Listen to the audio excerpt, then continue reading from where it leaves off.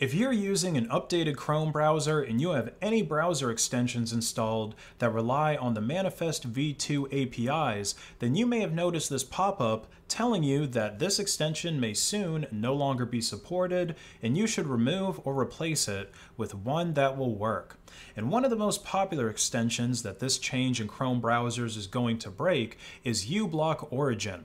In fact, a lot of people think that the real reason for Google deprecating the Manifest v2 API in the Chrome browser is to knock out all of the effective ad blockers so that Google can make more money from their advertising network. So if you're a uBlock user and you actually follow this pop-up warning you into the Chrome Web Store to find a replacement extension, you're probably going to stumble upon uBlock Origin Lite which is better than nothing for blocking ads in Chrome, but as the word light implies, this ad blocker is not quite as potent as uBlock Origin. Now, uBlock Lite does have one upside, which is that its content blockers are entirely declarative, so the filtering that this extension is able to do is going to be available once your browser launches. The filtering that uBlock Lite and other Manifest v3 ad blockers do should be a little bit faster and maybe more reliable than Manifest v2 ad blockers, but the types of content blocking and the extent and precision to which you can block content with Manifest v3 extensions is greatly limited. So uBlock Lite, for example, doesn't support dynamic filtering and it doesn't support disabling remote fonts and JavaScript on a per site basis. So your mileage may vary depending on how intrusive the ads on the sites you visit are if you decide to switch to uBlock Origin Lite.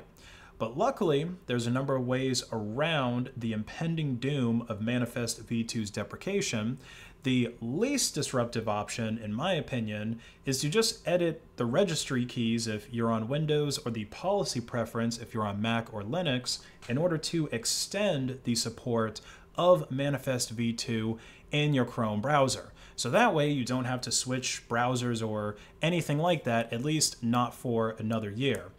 Now, the reason for this option is mostly directed at enterprises. In fact, I think the Chrome browser for enterprise actually ships with that Manifest v2 policy enabled by default, and the reason for this is enterprises will often have some internal piece of software that is really old but still mostly works, and whoever wrote that software in the first place probably left the company a long time ago, and right now they just don't want to invest in the people or the infrastructure that's going to be required to upgrade to something more modern. So companies like Google will do this deprecation extension for those businesses for a while so that they can find a solution with the new tech in the meantime. And by the way, this extension manifest v2 availability flag is what every other Chromium based browser, including Brave and Microsoft Edge, are using to extend the use of uBlock Origin and other manifest v2 extensions into next year because all of those browsers are using the same engine as Chrome.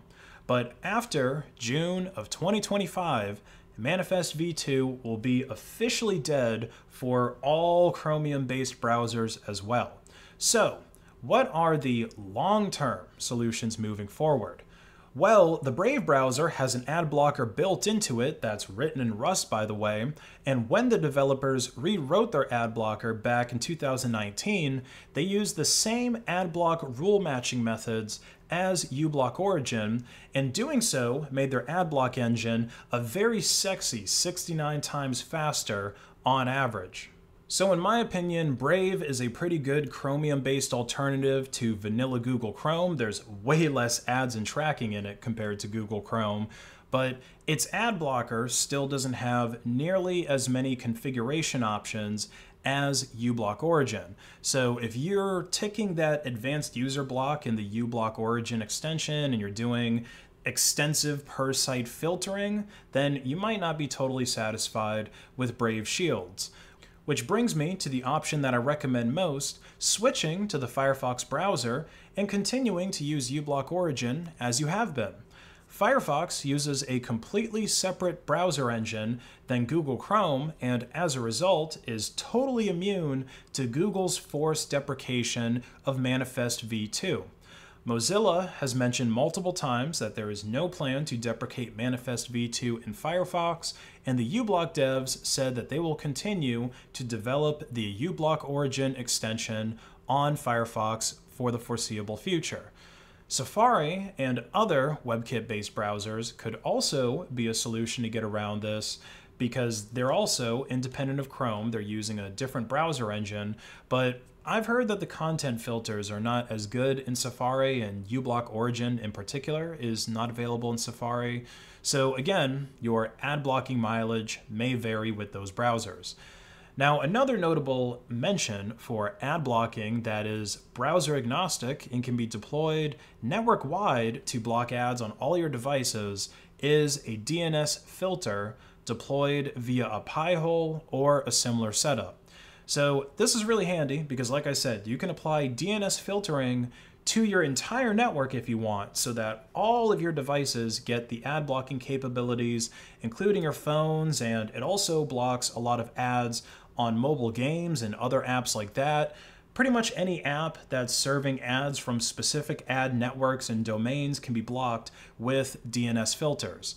So the way it works is by blocking traffic from entire domains that serve ads or do any other kind of tracking, or you can just block any domains you want. Like if you'd want to block everything that's coming from Facebook or Twitter because you don't want to see their ads or trackers or you know any of the garbage that comes from those sites, then you can do that.